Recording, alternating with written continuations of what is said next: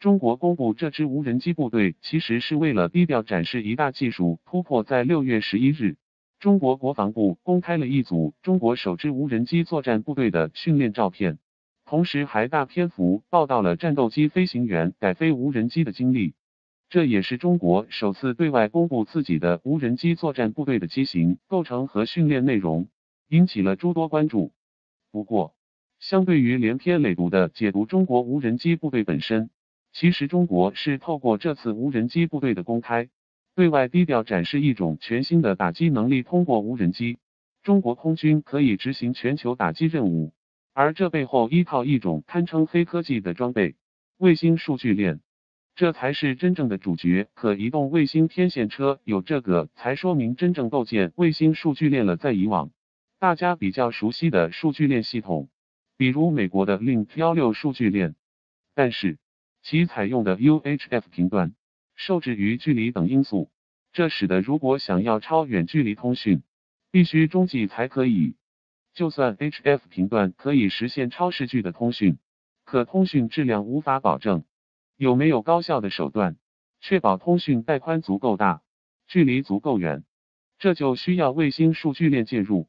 现在美国海军使用的 ThreadJ 和空军使用的 JRE 拓展卫星数据链，都是基于现有 Link 幺六的升级版本。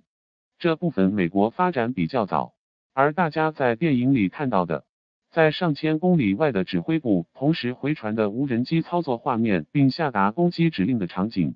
其实就是借助卫星数据链来完成的。美军的 Link 幺六数据链堪称最完善的数据链，但是没有卫星支持是没办法做到全球指挥的。不过，要建立这样的卫星数据链网络并不容易。首先，你需要有足够覆盖全球的通讯卫星作为中继转发，理论上至少三颗，实际上至少需要六至八颗。其次，卫星数据链需要有配套的天线。发射、接收、处理、转换等多个子系统组成，这些东西平常地面卫星接收站都会有，可仅仅一吨载荷量的无人机是根本不可能携带上去的。如何取舍？这需要强大的电子工业设计能力。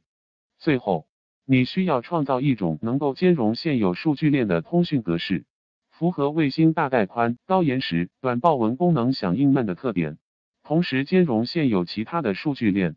你起码需要有个三军数据链才能设计出来这样一个通讯格式吧？仅仅拥有自主三军数据链的只有美、俄、中三国，可见真正难度之大。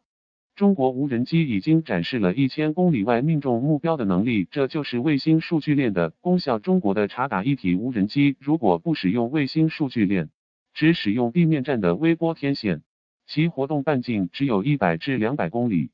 如果在山区等低洼地带，甚至只有几十公里，而借助使卫星数据链，中国已经进行过一千公里外的无人机实弹打靶实验。而且，在最近的兴安岭大火的扑救过程中，中国的彩虹负四无人机就借助卫星数据链完成了相应远程遥测任务。中国无人机卖得好，最主要是配套设施完善。中国无人机在国外的出色表现。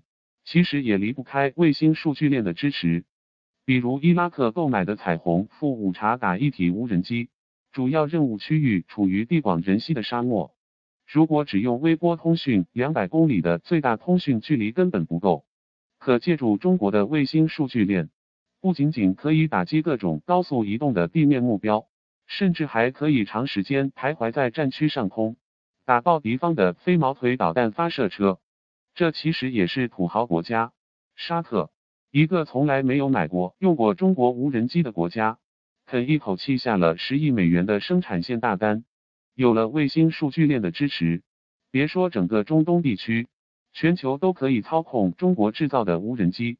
而且这个卫星数据链掌握在中国自己手中，准入权、后续收费、维护全部由中国说了算。这就是给航天投入一元。会产生七元效益的一个最好写照。